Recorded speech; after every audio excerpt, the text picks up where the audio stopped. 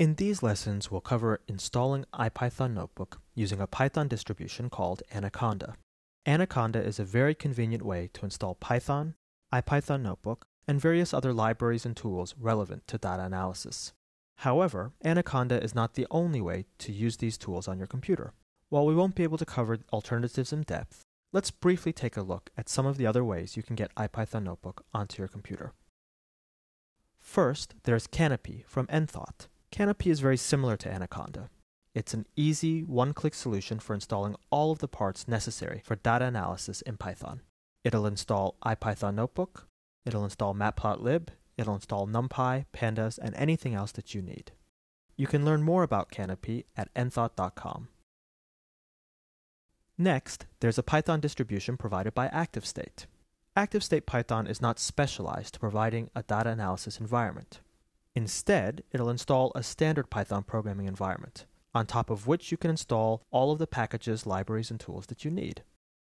You'll need to use a tool like pip in order to install the additional libraries. So you'll have to install pandas, numpy, matplotlib, and the others manually. You can learn more about ActiveState at activestate.com.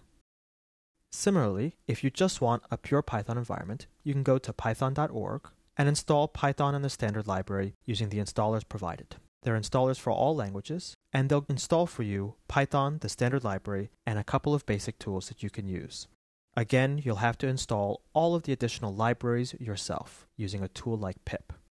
Finally, I want to show you one of the simplest and newest ways to get started with IPython Notebook. It's a project from the IPython developers and some folks at Rackspace. It's called tmpnb, and I think it's really cool. Go to tmpnb.org, wait under one second, and suddenly you'll have a temporary IPython notebook ready to go. I haven't installed anything to my computer, everything is online.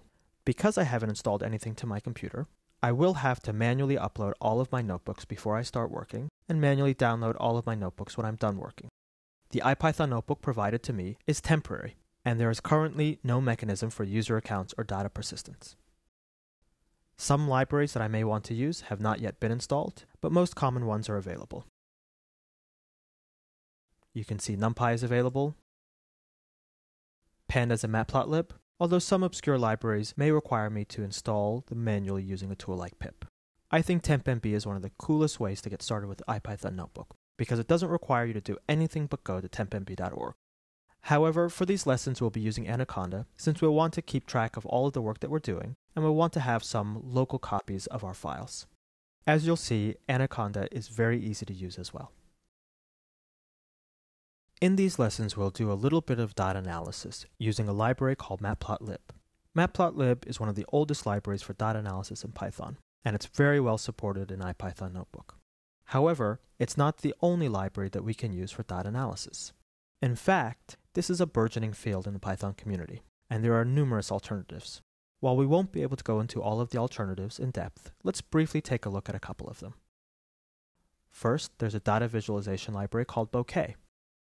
You can go to bokeh.pydata.org and see a couple of very neat examples. In addition to Bokeh, there's a tool from a company called Yhat called ggplot that's very similar to the ggplot2 library in the R language. A colleague of mine, Jake Vanderplas, is working on another project that helps bring Matplotlib and D3JS together for data visualization. It's called MPL-D3. You can see one nice thing about this is it can produce very nice interactive visualizations. Finally, you may have heard of a tool called Vega. Vincent is a Python library that allows you to work with Vega and D3. Here's an IPython notebook that shows a couple of different examples using all the different visualization tools. You can see that there are a number of different libraries, and some of them are interactive, some of them aren't. You can see that some of the libraries that we just looked at can produce some very beautiful visualizations. They can also produce interactive visualizations and very complex visualizations with a lot of moving parts. However, for these lessons, we'll stick with Matplotlib. It's the standard library for data visualization. It's one of the oldest libraries we have. It's a library with a lot of online documentation and it's actually a very useful, very customizable library for doing visualizations in Python.